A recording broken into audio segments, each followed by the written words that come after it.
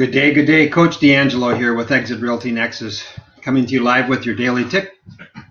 Uh, today, I want to talk a little bit about the shifting tech trends and some of the tools uh, for agents and brokers and managers to handle.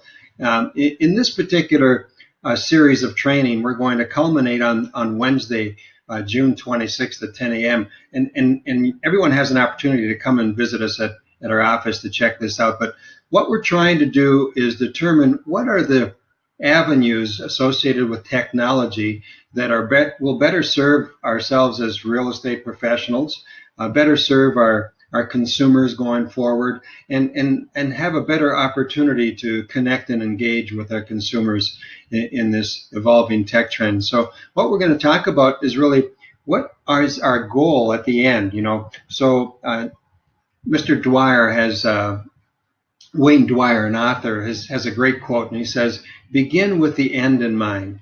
Start with the end outcome and work your way backwards to make your dream possible. And we're going to address this in technological um, aspects in terms of lead generation online, whether we're refer- referring to web lead generation, whether we're referring to messenger marketing platforms. We're going to look at what are the best avenues to better engage and connect with our consumers.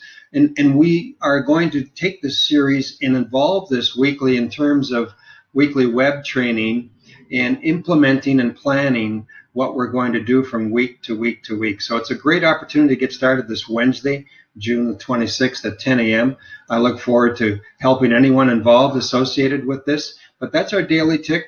Take a look at what you plan on doing with your online presence to better brand yourself and to better serve your clients. Hope that finds you well. Look forward to seeing you on Wednesday.